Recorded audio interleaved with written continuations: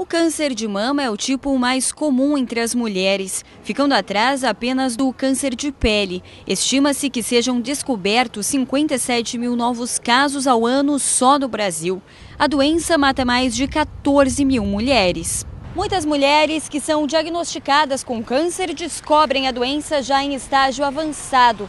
Isso ocorre devido à falta de prevenção.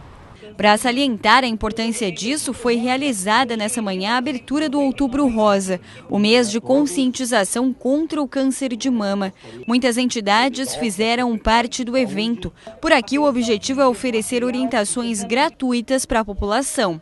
Trazendo essa mensagem da prevenção, que nada mais que a mensagem da vida.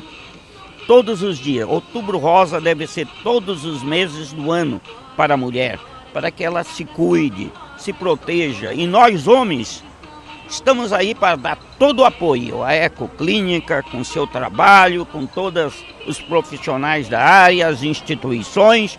O câncer de mama afeta mulheres acima dos 35 anos, sendo mais comum após os 50 anos. Por isso, a importância de realizar todos os anos o autoexame. Estima-se que quando a doença é descoberta no primeiro estágio, a chance de cura é de 88%. Então o Outubro Rosa, assim como outros programas, vem para que a gente trabalhe e oriente a população no sentido de procurar os nossos postos de saúde, de fazer os atendimentos, de fazer essa prevenção, fazer principalmente é, o exame né, do, do, do câncer de mama para tentar evitar qualquer problema no futuro. Porque 95% dos, dos problemas de câncer são curados, nesse caso, se forem diagnosticados com antecedência.